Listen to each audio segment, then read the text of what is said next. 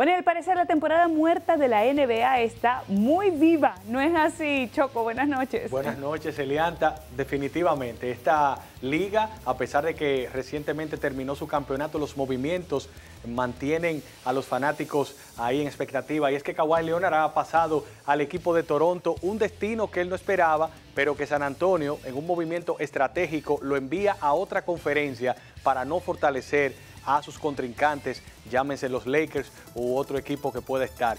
De Marty Rosen también pasa en esta transacción, no ha estado de acuerdo también con el cambio, pero en el caso de Leonard tendría la oportunidad de firmar luego de finalizada la temporada del 2018-2019 o en su defecto podría ser cambiado durante el proceso de la misma. Hay que esperar porque Leonard es un jugador que dependiendo del destino donde llegue podría cambiarle la cara a un equipo y convertirlo en un equipo competitivo. Por otro lado, hay que destacar de que Manny Machado ya es un hecho el cambio que lo envía a los Dodgers de Los Ángeles y es que Machado ha sido cambiado por cinco prospectos. El problema hasta el momento, porque no ha sido oficial, es que uno de esos prospectos no ha pasado el examen físico de rigor y esto ha detenido momentáneamente la transacción. Los Dodgers se fortalecen muchísimo con Machado, un hombre que puede defender, que tiene un bate alegre y que podría encaminar al equipo de Los Ángeles hasta llegar, quién sabe, a la final y lograr ese anhelado campeonato que no logran en 30 años. Aprovechando el momento de Machado, destacamos a los jugadores dominicanos que han tenido mejor desempeño hasta la pausa del Juego de Estrellas. Luis Severino con 14 ganados, dos perdidos, porcentaje de carreras en 2.31, ha sido el mejor lanzador de la camada dominicana en el béisbol de grandes ligas. José Ramírez con una temporada ofensiva para ser considerado el jugador más valioso hasta el momento. Entre sus estadísticas que están viendo ahora en este cuadro, figuran 29 cuadrangulares, siendo el líder en ese departamento. Manny Machado, ya todos saben lo que ha hecho, y Jim Segura, que también tiene una excelente temporada con el equipo de los Marineros de Seattle. Si nos vamos a un novato, específicamente el lanzador de los cerveceros de Milwaukee, Freddy Peralta, con cuatro ganados, un perdido, 2.65 de promedio de carreras limpias, ha tenido un buen desempeño con el equipo de los cerveceros. Antes de finalizar, queremos felicitar a los equipos de Yaguate que se proclamaron campeones en el campeonato de Serie del Caribe Béisbol Infantil de la Pony 2018, donde salieron airosos y tendrán la oportunidad de representar a la República Dominicana en campeonatos internacionales. El ingeniero Demetrio Lluveres, presidente del comité organizador, se mostró satisfecho con la confianza depositada en él para montar el evento y pues el triunfo de Yaguate, donde estará representando a la República Dominicana. Muy contentos estos niños, se fajaron en el terreno y hoy levantan la Copa de Campeones. Con mucho orgullo desde aquí los aplaudimos de pie. ¿Cómo no? Buenas noches, Michoco. Buenas noches para ti y también buenas noches para todos. Nosotros seguimos con más máquinas retroexcavadoras, brigadas del Ayuntamiento del Distrito Nacional y del Ministerio de Obras Públicas realizan excavaciones para dar con la última capa del suelo tras el desplome de la vía el pasado miércoles en la calle Beriño, esquina George Washington de la capital dominicana. El hoyo lleva una profundidad de 5 metros y es donde se encuentra el registro pluvial de la zona colonial. Las dos tesis que se estaban manejando, o tres tesis, es que puede haber una, caverna que se haya, que haya, donde haya escurrido todo el sedimento que se desplomó. También puede hacer ver que la puede haber producido que la playa mar haya producido algún efecto alrededor de la alcantarilla y alguna contracción. Pero también puede ser la filtración, que es lo que a nosotros más nos parece que pudo haber sucedido. El encargado de drenaje del Distrito Nacional sostuvo que luego de llegar al tope se realizarán estudios geotécnicos ya que se cree existe una caverna. Viva presenta. Bueno, en el interior del país se registraron muchas informaciones el día de hoy. Vamos a conocerlas. Nuestros corresponsales ya están con nosotros. Argelis Reyes está en Atomayor, Gilberto Mateo en San Juan de la Maguana y Rafael Metz en Montecristi. Comenzamos contigo, Argelis, porque los productores de cacao se declararon en huelga el día de hoy. Las causas. Buenas noches. Así es, Elianta, muchas gracias, buenas noches. Los productores de cacao de la provincia del Ceibo se declararon en huelga desde el día de hoy, ya que el IDECOP y funcionarios del Ceibo los atropellan, ya que tienen varios años de haberse constituido como empresa, la cual responde a nombre de ISPA Cacao y que no es cooperativa, pero en el lugar donde estaban trabajando fueron sacados de manera abusiva y atropellante, los cuales ellos no, no catalogan como un abuso y un atropello. Escuchemos. El último llamado al fiscal y por esa vía al Procurador General de la República, también al gobernador y por la misma al Ministerio de Interior y Policía para que más tardar mañana a las 2 de la tarde regulicen la situación y eviten consecuencias que lamentar.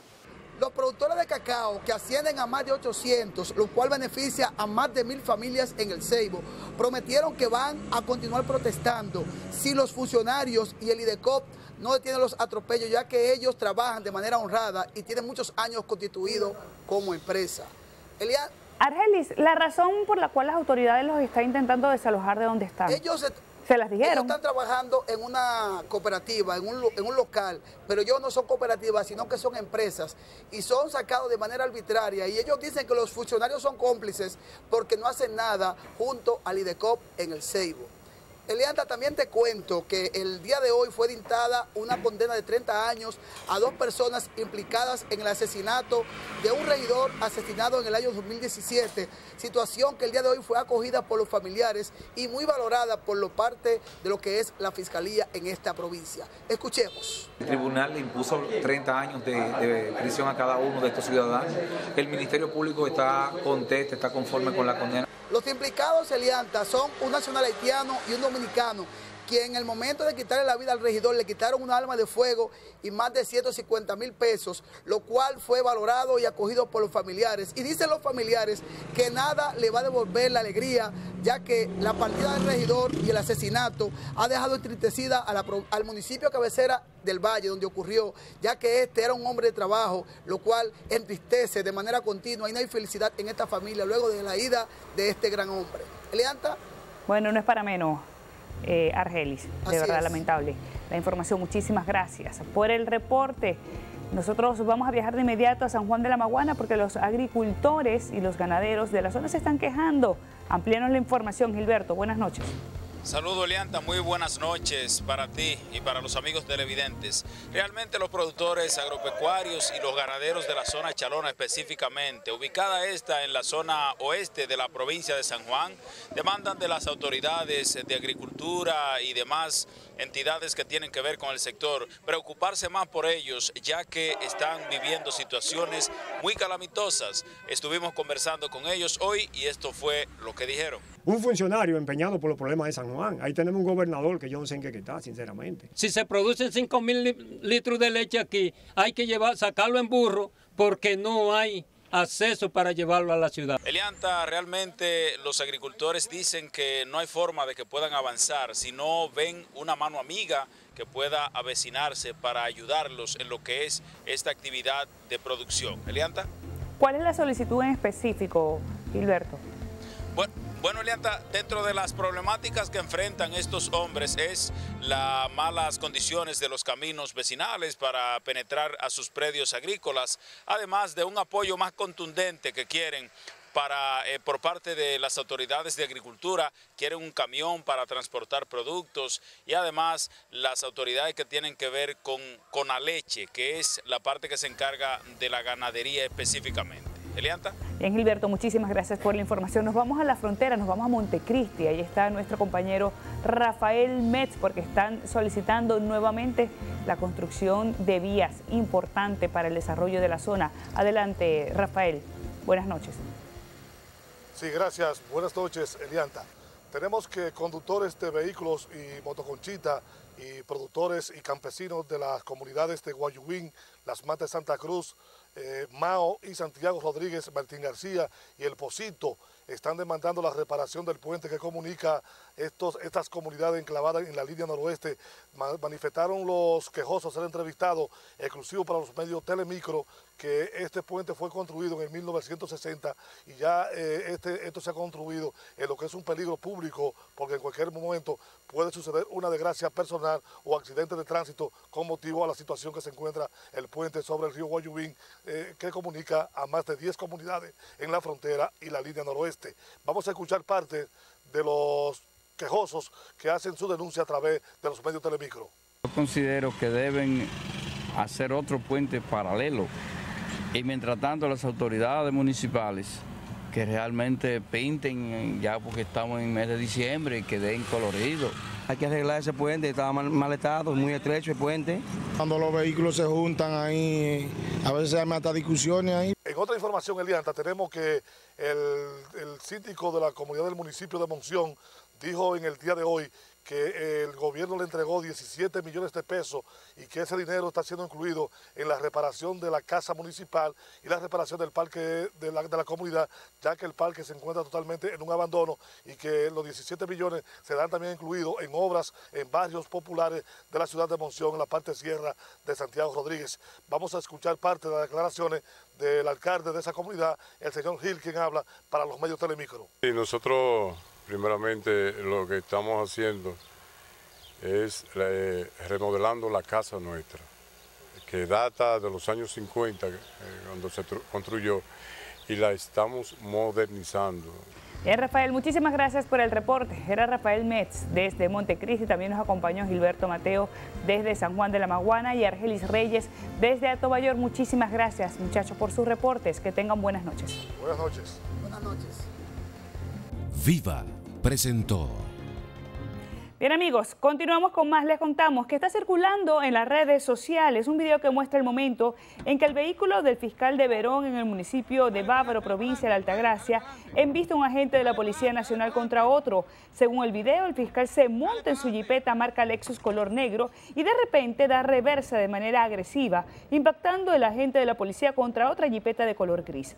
Otro agente de la institución le grita de manera agresiva que le dé adelante la jipeta para salvarle la vida a su compañero. El agente posteriormente fue llevado a un centro médico.